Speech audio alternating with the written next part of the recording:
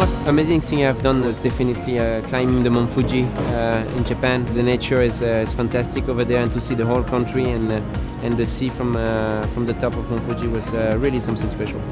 We um, had a great experience when we went to the Beijing ePrix in the first season. We took the toboggan down from the from the Great Wall, and it was so much fun. Driving in Long Beach uh, was the first time visiting America, the States. I went to Hollywood and saw all those stars on the ground, so that was quite special as you see it all always on TV but never in real life. Um, it's hard to feel at home when you're traveling, but uh, I guess your home is kind of the airplane and the hotel that you fly to. Kind of miss my friends, so the technology from these days, uh, I can still have uh, FaceTime and have connections with, with my friends.